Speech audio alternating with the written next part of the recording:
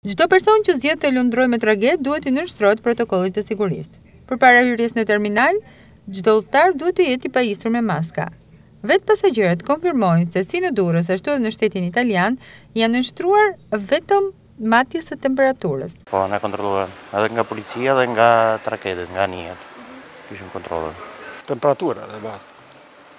Asgjë më tepër.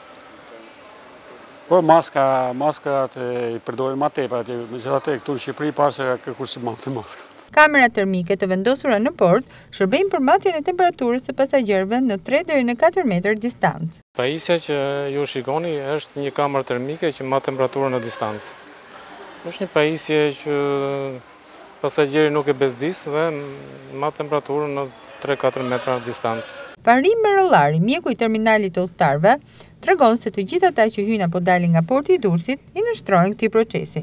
Në rast se temperatura është mbi tridhjetë e shtatë pikë pesë gradë, kërkohet ndalimi i udhëtarit, duke ndjekur protokollet e mëtejshme të sigurisë shëndetësore. Edhe për qytetarët që kthehen në mëngjes, është e njëjta procedurë. Në qoftë se një pasagjer konstatohet me temperaturë mbi tridhjetë e pesë, tridhjetë e. shtatë pikë pesë. Sigurisht që ndalohet, zbatohet protokolli i përcaktuar dhe përcillet në spital ku i bëhet tamponi. Deri tani s'ka asnjë rast për t'u ndaluar.